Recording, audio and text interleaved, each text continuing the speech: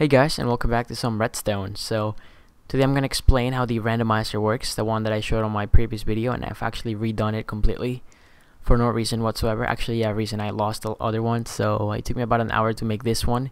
So hopefully you guys will find this interesting for those of you who actually care about redstone and how redstone works and want to learn about it. It's actually, I'm going to try to explain how this works and how I, um, it's actually pretty clever how uh, this part works over here but uh, there we go.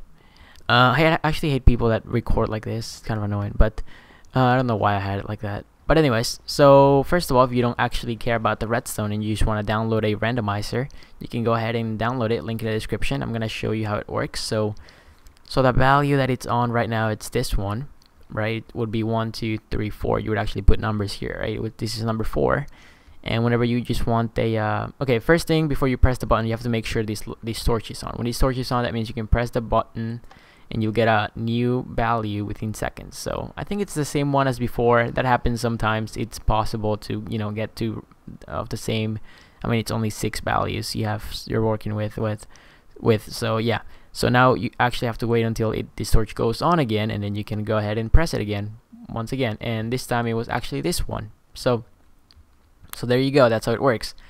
And now for those of you who actually care, I'm actually gonna go ahead and explain how everything works.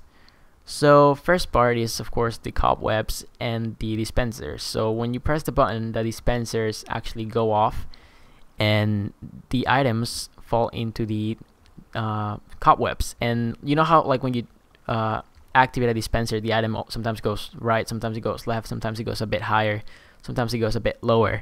So we can actually harvest that uh, that randomness with using cobwebs because now one of these six is gonna fall before the others. So I'm gonna go and go ahead and demo this. Um, press the button and here we go. So as you can see like this one is a bit higher than this one is a bit more to this side. So this one is probably gonna fall first or I don't know which one's gonna fall first. Oh yeah, this one fell first and now what this thing does over here, it actually only catches the first value. So once the first the first value is input, as you can see was this one over here, it actually locks it so nothing else can get through with this RSNOR over here. So it actually locks it so nothing else can get through, which is, you know, something kind of needed. So there you go. After that that happens, it's it actually gets uh, saved into these RSNOR latches over here. And then what we have here, it's probably the hardest part to explain, is some kind of queuing system. As you can see, we have other RSNOR latches up here. These three squares that's an RSNOR three squares RSNOR so this is where um, our current value is in and this is the last one which is the one that is being displayed at the moment. And it's not for some reason. I think I might have reset it by accident somehow. So whenever you press the button it has some sort of queuing system. So what it does it actually gives you the last one that was saved back here. It moves it on forward and it calls for a new one.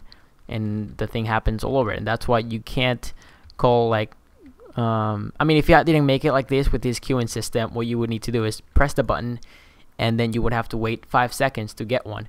But this way it's much better and much faster and I like it a lot more because you press it and you get it instantly and then it takes five seconds before you can do another one.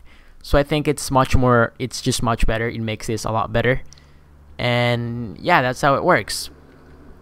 So once again uh, one of these fell, fall first before the others.